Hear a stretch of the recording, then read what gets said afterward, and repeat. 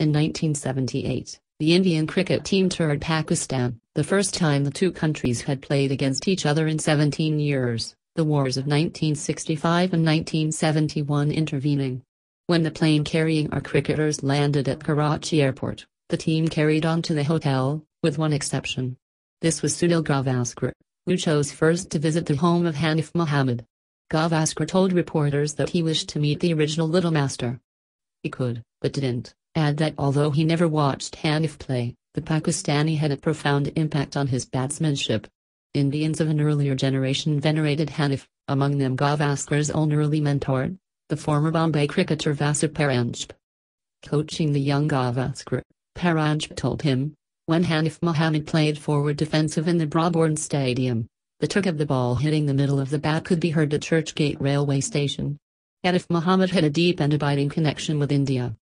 He was born in Junagadh, then capital of a princely state, but now in the state of Gujarat.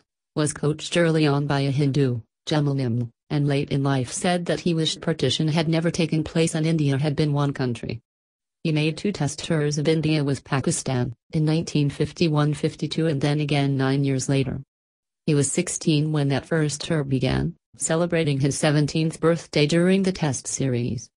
His precocity impressed Jawaharlal Nehru, who specially asked to be introduced to him in New Delhi, as well as countless lesser-known Indians, who woke up the Pakistani cricketers at railway stations as they crisscrossed the country, demanding to see the boy wonder. His teammates were so impressed by this adulation that they nicknamed Hanif Dilip, after Dilip Kumar, India's most famous film star himself originally from Peshawar and once named Yusuf Khan. On Hanif's next tour of India the adulation had, if anything, intensified. The cartoonist Bal Thackeray, whose founding of the Shiv Sena lay some years in the future, wrote of him as the biggest stumbling block to India in the coming series. For one so young, Thackeray went on, he has rare restraint, for, like a veteran he digs himself in and masters the situation. Hanif scored an immaculate hundred in the Bombay Test watched by and Bal Thackeray, among others. A cricket fan from Nagpur wrote to Dawn, the leading newspaper in Karachi, that their fellow townsman was the darling of the Indian crowds, adding that the Rs 50 ticket was selling for Rs 500 on the black market, so keen were Indians to see Hanif bat. Hanif Mohammad's defensive technique was legendary. There are many stories about it, none better than the one about an innings he played against West Indies in Bridgetown, Barbados a couple of years before he batted in Bombay before Vasant Paranjpe and some 30,000 others. I have told this story before, but I think I am allowed to repeat it now, to mark his passing. Batting first, the West Indies scored 579, Conrad Hunte and Everton Weekes scoring hundreds, and then bundled out Pakistan for a mere 106. Following on some 400 runs behind, Pakistan fared better, with Hanif and Imtiaz Ahmed putting together an impressive opening partnership. In this stand, Imtiaz blazed away. He was a wicket-keeper after all, while Hanif blocked at the other end. Watching this rearguard action were thousands of ticketed spectators at the ground, alongside hundreds of young boys, perched on palm trees outside. Late on the evening of the third day, exhausted by the midday sun and the relentless tuk-tuk of Hanif's forward defensive, one of these young cricket lovers fell asleep, slipped down the tree and hit his head on the ground below. He was badly concussed and taken to hospital. When the boy recovered consciousness, his first words were, Is Hanif still batting? The answer, alas, was in the affirmative. In this test, Hanif was to put on century partnerships with Imtiaz, Alimuddin, Ahmed and his own elder brother Wazir. When he was sixth out, the team score was 626, and his own individual score 337. The match had been saved, through arguably the bravest innings in cricketing history and certainly the longest. According to the record books Hanif Mohammad batted for 16 hours and 10 minutes, or 970 minutes in all, although for some strange reason when I was growing up I was always made to believe that he batted for 999 minutes. It was, I think, an elder cousin who told me this, probably to make it sound symmetrical with the other great batting record Hanif then held, of the highest score in first-class cricket, 499 for one so associated with the dead defensive bat? It is ironic that the only live shot of Hanif that I was able to access on YouTube has him hooking Freddie Trueman with gusto. Other frozen images on the net show him sweeping and square driving. In truth, despite his reputation, he had strokes all around the wicket. It was only his team's often perilous situation that compelled Hanif to play defensively more often, and far longer, than he might have wished. Hanif was the most remarkable member of what, the Chappells and the Graces and the Amarnaths and the Headleys and the Waughs notwithstanding, must be reckoned the greatest of all cricketing families. His brothers Wazir, Mushtaq and Sadiq were all high-quality test batsmen, while a fifth brother, Raees, was once 12th man in a test match.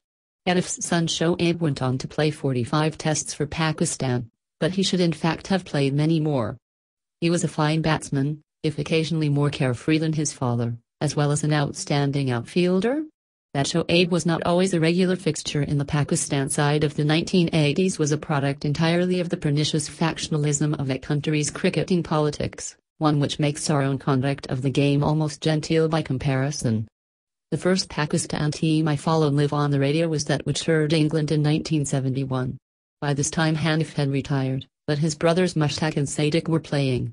I saw these two bat on TV in the series of 1978 and also watched Sadiq bat at the ground in tests in Bangalore and Madras, as they were then known, when Pakistan came touring us a year later. I also came to watch quite a lot of Shoaib on TV, although my abiding memory of him as a cricketer relates to hearing radio commentary on an innings of his. This was on the England tour of 1992, when Hanif's son was left out of the first four tests. Brought in belatedly for the fifth test, he batted assuredly. When he reached his half century, the expert on Test Match Special, the former England all-rounder Trevor Bailey, who had played against Hanif, praised Shoaib's batsmanship, asked why he had been left out of the earlier tests in the series, and finally remarked that the proudest person at that moment would be an old lady named Amir Bee, following the game ball by ball from Karachi. He was right on all three counts, especially the last, Amir Bee, mother of Hanif and his four brothers and grandmother of Shoaib, had most closely followed, and encouraged, cricketing careers of all the men and boys in her family. I never saw Hanif bat. The closest I got to him in the flesh was during a Pakistan-India test in Bangalore, played in March 2005. One morning I was summoned to the president's box, my first ever entry into those protected precincts in 30 years of watching cricket in the Chinnaswamy Stadium. I owed my unexpected invitation to a literate official accompanying the visitors, who had read one of my books. I sat there for an hour, watching Younis Khan and ul Haq forge a superb retrieving partnership after two early wickets had fallen. On the same row, to the right, and with some empty seats between us, sat the first great Pakistani batsman, also watching with appreciation. I noticed that he had dyed his hair black, albeit with a dash of henna. And that he was eating peanuts, out of a yellow plastic bag. Had I been younger and more brash I would have approached him for a chat, but it seemed appropriate to leave him to his thoughts and the cricket. I only hope that on this, almost certainly his only visit to my hometown, Hanif met the one among the now numerous little masters who was as modest as himself.